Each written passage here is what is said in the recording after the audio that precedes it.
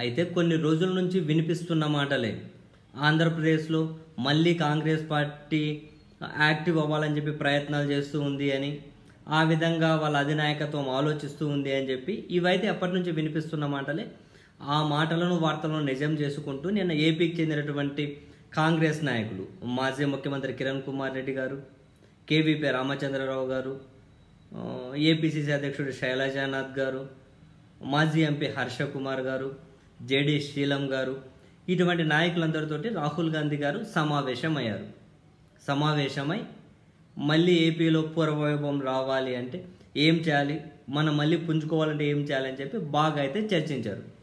ఈ చర్చించిన తర్వాత కేవీపీ గారితో సహా అందరూ బయటకు వచ్చి మళ్ళీ యాక్చువల్గా జగన్మోహన్ రెడ్డి గారు ఒక ఎమోషన్ తోటి కాంగ్రెస్ క్యాడర్ని అంతా తన వెంట తీసుకెళ్ళారు. ఇప్పుడు ఆ ఎమోషన్ తగ్గింది మళ్ళీ వెనక్కి తెచ్చుకుంటాం మా క్యాడర్ని మేము అని చెప్పి ఆ విధంగా మాట్లాడి కాంగ్రెస్ పార్టీని మళ్ళీ యాక్టివ్ చేస్తాం రాష్ట్రంలో అని అయితే వాళ్ళు మాట్లాడారు. ఇదంతా అయిన తర్వాత కొందరు సోషల్ మీడియా వేదికగా అయినా ఈవెన్ కొన్ని ఛానళ్ళలో అయినా కనుక కాంగ్రెస్ పార్టీ మీద పంచులేసి ఇదేం నవ్వులాటగా ఉన్నట్లుంది వీళ్ళకు వాళ్ళకంత సీన్ లేదని చెప్పి విమర్శలు చేసేవాళ్ళు పంచులేసే వాళ్ళు ఏమీ తక్కువ లేదు. అదే సమయంలో కాంగ్రెస్ పార్టీకి ఏపీలో ఏమైనా స్పేస్ ఉందా లేదా అని దాని చుట్టూ చర్చించే వాళ్ళకు కూడా కొదవేం లేదు. ఇటు వీళ్ళు కూడా ఉన్నారు. మనం ప్రాక్టికల్గా ఆలోచించి కొంచెం డీప్ గనక వెళ్ళి గనక థింక్ చేస్తే ఆంధ్రప్రదేశ్లో పొలిటికల్ స్పేస్ లేదా అంటే ఉంది. ఖచ్చితంగా ఉంది అంగీకరించాల్సిన వాస్తవం. ఇప్పుడు జగన్మోహన్ రెడ్డి గారిని వ్యతిరేకించే వాళ్ళు చంద్రబాబు నాయుడు గారిని వ్యతిరేకించే వీళ్ళిద్దరిని వ్యతిరేకించే వాళ్ళు లేరా? ఉన్నారు. ఇప్పుడు ఉన్న పార్టీలు కాకుండా ఇంకో ఇంకో మంచి రాజకీయ వ్యవస్థ ఏదైనా కనుక మళ్ళీ ఆంధ్రప్రదేశ్లో యాక్టివ్ కావాలని చెప్పి కోరుకునే వాళ్ళు లేరా? ఉన్నారు. వాళ్ళ శాతం ప్రస్తుతానికి తక్కువే కావచ్చు. అటువంటి కోరుకునే వాళ్ళైతే ఉన్నారు. ఇప్పుడు జగన్ గారిని చంద్రబాబు గారిని వ్యతిరేకించే వాళ్ళు బీజేపీలోకి వెళ్ళలేరు అంటే వెళ్ళలేరు అంటే వెళ్ళినా కనుక భవిష్యత్తు ఉండదనో వాళ్ళ సిద్ధాంతాలు నచ్చవను వాళ్ళ సిద్ధాంతాలకు ఏపీలో స్పేస్ లేదని చెప్పి అనుకునే వాళ్ళు ఇందులోనే ఏదో ఒక దాంట్లో ఈ రెండిట్లో ఉండిపోతూ ఉన్నారు. లేదు అంటే యాక్టివ్ కాలేకుండా పోతూ ఉన్నారు. అండ్ ఆ థర్డ్ పార్టీగా పవన్ కళ్యాణ్ గారు ఉన్నా కూడా జనసేన. అది పార్టీ ఉందో లేదో అదేదో ఒక సినిమా షూటింగ్ లెక్కనే అవుతూ ఉంది. అది ఒక కమిటెడ్ పాలిటిక్స్ ఆయన చేయట్లేదు కాబట్టి పక్కన పార్టీ వాళ్ళకి పక్కన పెట్టండి. పవన్ కళ్యాణ్ గారి పార్టీలో ఉన్న వాళ్ళకి వాళ్ళకే నమ్మకం ఉందో లేదో తెలియదు. వాళ్ళు కూడా ఇంకా వేరే దాంట్లోకి పోలేదు కాబట్టి ఎప్పటికైనా యాక్టివ్ కాకపోతామా? ఏదైనా పొత్తులైనా అంతో ఇంత కలిసి రాకపోతుందా? రాజకీయ భవిష్యత్తు ఏదో ఒక దారిలో కలిసి రాకుండా పోతుందని చెప్పి అందులోనే ఏదో ఉనికి కోసం తాపత్రయపడే వాళ్ళు అందులోనే ఉంటూ వస్తూ ఉన్నారు.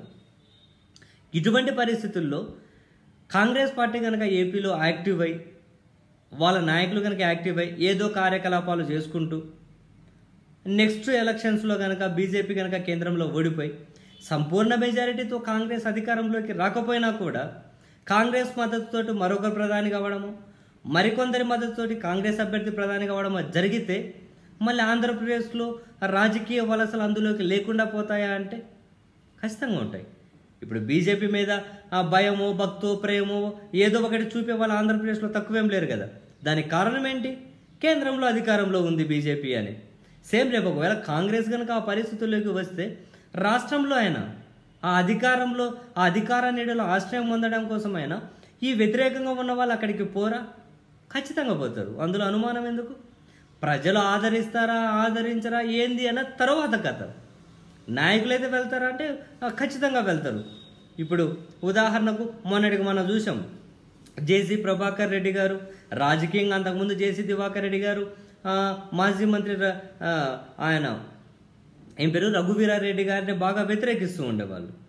తర్వాత రాజకీయాలన్నీ మారిపోయాయి. రఘువీరారెడ్డి గారు సైలెంట్ అయ్యారు. ఆయన వ్యవసాయ పనులు ఇంకేవో పనులు చేసుకుంటూ ఊరికే పరిమితమయ్యారు. తాజాగా రఘువీరారెడ్డి గారిని కూడా వచ్చి నన్ను కలవమని చెప్పి రాహుల్ గాంధీ గారు కబురు పంపారు అని చెప్పి రఘువీరారెడ్డి గారు ఇంకా ఏం నిర్ణయం తీసుకోలేదు అని చెప్పి ఈ వార్తలు కూడా వస్తూ ఉన్నాయి. మొన్నటికి మన జేసీ ప్రభాకర్ రెడ్డి గారు రఘువీరారెడ్డి గారు ఊరికి వెళ్ళి కలిశారు కూడా. అంటే ఇన్ కేసు ఇటు ఏమంటారు టీడీపీలో ఉండి పోరాటం చేసినా కనుక పెద్ద గుర్తింపు రాదను లేకుంటే ప్రజలు ఆదరించరు పెద్ద ప్రయోజనం ఉండదు. ఏదైనా ఒక జాతీయ పార్టీలోకి వెళ్తేనే మేలు అని చెప్పి ఇటు జేసీ వాళ్ళు అనుకున్నా కూడా కొన్ని ఒక కాన్సెన్స్ అయినా ప్రభావితం అయితే చూపుతారు. అండ్ వాళ్ళ ప్రభావం జిల్లాలో కొంతవరకైనా ఉండొచ్చు. అటు రఘువీరారెడ్డి గారు ఇటు యాక్టివ్ అని ఇటువంటి నాయకులు చాలా చోట్ల కేంద్రంలో అధికారంలోకి వచ్చే పరిస్థితి వస్తే చాలామంది బయటకు వస్తారు. అందులో అయితే అనుమానం ఏమో అక్కర్లేదు.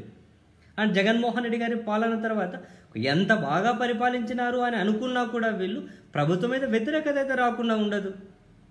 ఆ వ్యతిరేకత తెలుగుదేశం పార్టీ క్యాచ్ చేసుకునే పరిస్థితుల్లో లేకపోతే కాంగ్రెస్ పార్టీ కొంతవరకైనా క్యాచ్ చేసుకునే పరిస్థితులకు వచ్చినా కూడా ఆశ్చర్యం లేదు. అండ్ అదే సమయంలోనే విభజించారు అని చెప్పి కోపం అనేది కాంగ్రెస్ పార్టీ మీద ఉన్నా కూడా వాళ్ళు విభజించుకుంటూ ఏవైతే అప్పుడు హామీలు ఆంధ్రప్రదేశ్కు హక్కులు ఇచ్చారో ఆ హక్కులన్నీ నెరవేరితే మళ్ళీ ఆంధ్రప్రదేశ్ బ్రహ్మాండంగా ఉంటుంది అని చెప్పి ప్రజలు నమ్ముతూ ఉన్నారు కాబట్టి ఆ విభజన హక్కులను కేంద్రం అనేది పూర్తిగా కాలరాసింది ఏడు సంవత్సరాల నుంచి అని చెప్పి ప్రజలు ఫ్రస్ట్రేషన్లో ఉన్నారు.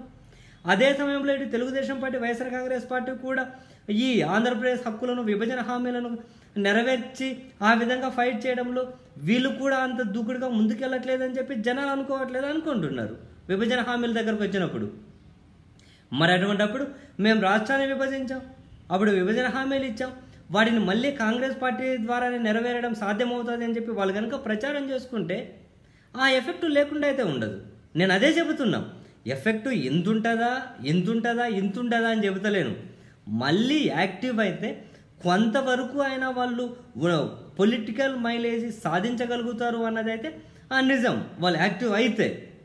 వాళ్ళు యాక్టివ్ అయ్యి మళ్ళీ కేంద్రంలో కనుక ఆ కాంగ్రెస్ మద్దతుతోనో లేకుంటే కాంగ్రెస్ యాజ్ పార్ట్ ఆఫ్ కాంగ్రెస్గా ఎనీ హౌ కేంద్రంలో అధికారంలోకి రాకుండా పోతే మళ్ళీ కాంగ్రెస్లోకి వలసలు రావడము లేకుంటే ఇంకేదైనా నాయకులు రావడమో జరగదు.